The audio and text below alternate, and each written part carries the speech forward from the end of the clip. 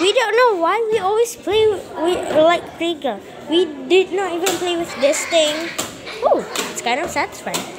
We didn't even play with these things. I think we're too old. And these things.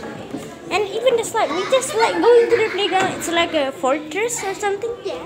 Yeah, we like to go to playground because it's like a fortress or something. Or like a little tiny house.